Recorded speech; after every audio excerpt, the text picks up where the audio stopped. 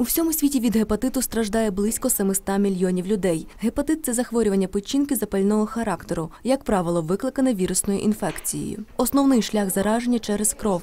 Є групи, які сприятливі до цієї інфекції, ті, які ведуть неправильний спосіб життя або мають часті кров'яні контакти.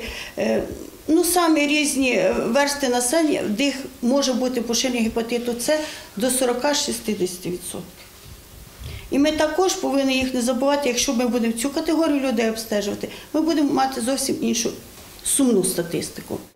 Найчастіше зустрічаються три його типи: гепатит А, Б і С. Підхопити один з них можна просто у тату-салоні, на манікюрі чи у стоматолога, якщо приладдя буде не дезінфікованим. Та захиститися можна, запевняють лікарі. Я вважаю, що люди, які не щеплені, але є в них можливість заразитися гепатитом Б, мають якісь кров'яні контакти, незалежно в якому віці, але бажано щепитися.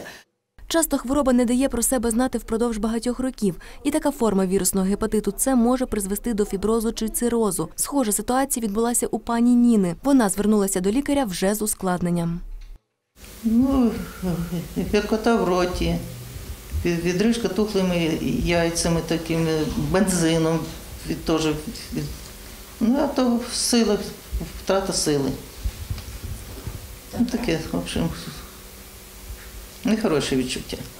Роками гепатит С вважався невиліковним, проте зараз це позаду. Статистика розповідає про позитивне завершення хвороби у 94% пацієнтів. Лікування може проходити як за кошти держави, так і за власні. Аби попередити хворобу, лікарі радять не зволікати та пройти безкоштовне обстеження вже у цю п'ятницю на Лебединці о 13.00.